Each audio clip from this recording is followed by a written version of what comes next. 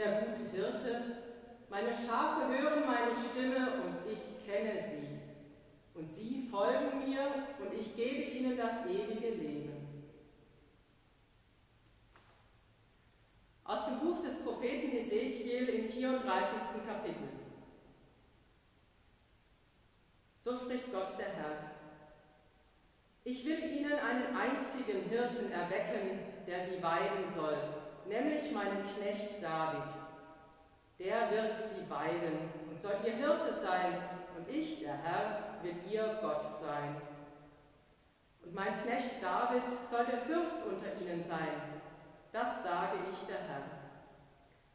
Und ich will einen Bund des Friedens mit ihnen schließen und alle bösen Tiere aus dem Lande ausrotten, dass sie sicher in der Steppe wohnen und in den Wäldern schlafen können. Ich will sie und alles, was um meinen Hügel her ist, segnen und auf sie regnen lassen zu rechter Zeit. Das sollen gnädige Regen sein, dass die Bäume auf dem Feld ihre Früchte bringen und das Land seinen Ertrag gibt. Und sie sollen sicher auf ihrem Lande wohnen und sollen erfahren, dass ich der Herr bin, wenn ich ihr Joch zerbrochen und sie errettet habe aus der Hand derer, denen sie dienen mussten. Und sie sollen nicht mehr den Völkern zum Raub werden, und kein wildes Tier im Lande soll sie mehr fressen, sondern sie sollen sicher wohnen, und niemand soll sie schrecken. Und ich will ihnen eine Pflanzung aufgehen lassen zum Ruhm, dass sie nicht mehr Hunger leiden sollen im Lande und die Schmähungen der Völker nicht mehr ertragen müssen. Und sie sollen erfahren, dass ich, der Herr, ihr Gott, bei ihnen bin und dass die vom Hause Israel mein Volk sind, spricht Gott, der Herr. Ja, ihr sollt meine Herde sein, die Herde meiner Weide, und ich will euer Gott sein, spricht Gott, der Herr.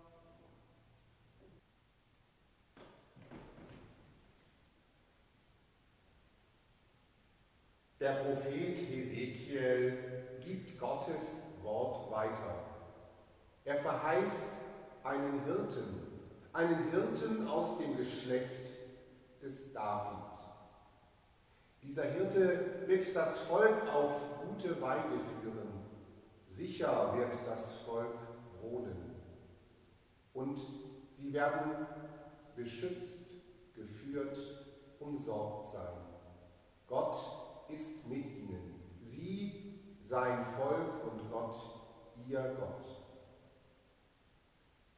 Christliches Glauben hat diese Worte des Propheten bezogen auf den Nachfolger Davids, denjenigen, der aus dem Stamm Davids kommt, Jesus von Nazareth, der Christus. In ihm sind wir alle hineingenommen in Gottes Wort, das er seinem Volk zugesagt hat. Auch wir beschützt, geführt, umsorgt von ihm. An guten Tagen und an schlechten Tagen. Dann, wenn wir Zukunft sehen und auch dann, wenn um uns alles dunkel ist. Die Frage ist, ob wir dieses glauben können, ob wir uns an ihn hängen, ob wir uns an sein Wort hängen und ihm vertrauen, der uns dieses zusagt. Ich will euer Gott sein, was auch immer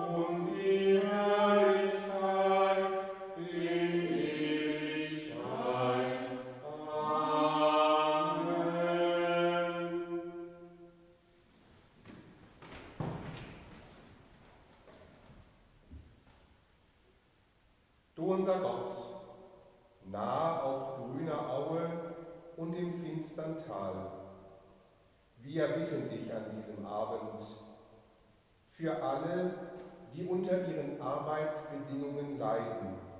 Herr, erbarme dich. Herr, erbarme dich. Für alle, die ihre Arbeit verloren haben. Herr, erbarme dich. Herr, erbarme dich. Für alle, die sich einsetzen für Arbeit und Auskommen bei uns und in aller Welt. Herr, erbarme dich. Herr, erbarme dich. Für alle, die sich an ihrer Arbeit freuen. Herr, erbarme dich. Herr, erbarme dich. Was uns sonst an diesem Abend noch bewegt, können wir dir, Gott, in der Stille sagen.